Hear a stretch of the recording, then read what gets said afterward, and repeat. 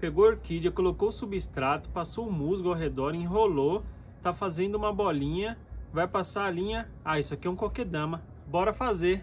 Já comprei o musgo, tá na mão, bora lá! E para esse plantio já tô aqui com a minha orquídea da promoção de 17 reais e a gente vai reaproveitar para estar tá plantando e fazendo esse coquedama.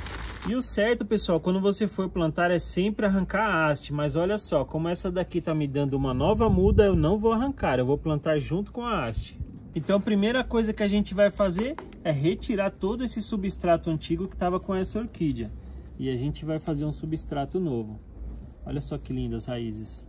Tá vendo aqui ó, que tem um monte de raiz podre? A gente vai fazer a retirada dessas raízes para que não dê fungos na hora do plantio sempre faça essa retirada. Depois você vem aqui com canela e vai aplicar aqui nesses ferimentos. Aqui é para não dar fungos, tá? E também é antibacteriano. Agora a gente vai utilizar o musgo esfagno. Isso aqui você encontra em gardens e floriculturas. Isso aqui é um musgo que mantém a orquídea bem úmida, tá? Ele é ideal para esse tipo de plantio. Então a gente só vai fazer o seguinte, espalhar ele aqui na mesa, ó e nós vamos hidratá-lo antes de fazer o processo da montagem. Pega agora o seu borrifador e a gente vai hidratar esse musgo. Isso aqui é bem simples, é só jogar água mesmo. Agora eu vou fazer o seguinte, eu vou pegar aqui o substrato para orquídea e vou colocar aqui no meio do esfagno, dessa maneira. É isso aqui que vai dar sustentação para a nossa orquídea. Agora eu vou pegar aqui a nossa orquídea e vou acomodá-la aqui nesse meio, ó. Dessa maneira. E aí nós vamos fazer o que? Uma bolinha aqui, tá vendo? Ó? Deixa aqui o substrato bem centralizado e aí nós vamos enrolar com todo cuidado. Pega aquela raiz que ficou para fora ó, e coloca para dentro, tá? Com todo cuidado para você não quebrar. E aí nós vamos enrolar para começar a fazer a bolinha. O segredo é você ir apertando até formar uma bolinha. E se for necessário, coloque mais musgo por cima.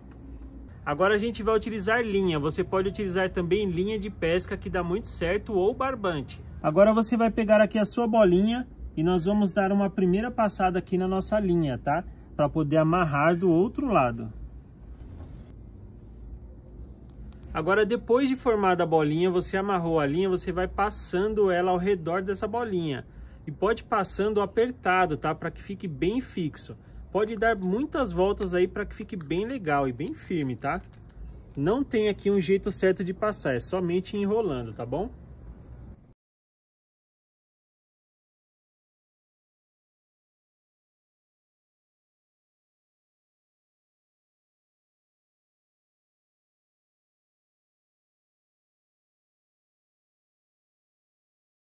Terminado o nosso coquedama, olha só como que ele ficou muito lindo. E aí, o que, que vocês acharam? Vocês fariam também um coquedama de orquídea?